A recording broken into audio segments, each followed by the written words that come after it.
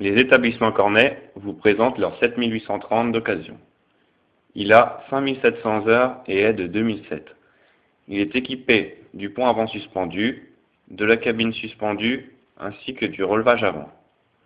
Il possède 4 distributeurs double effet. Il est équipé de la boîte Autopower à variation continue. Ses pneumatiques sont du 670 R30 à l'avant et du 650 85 R38 à l'arrière.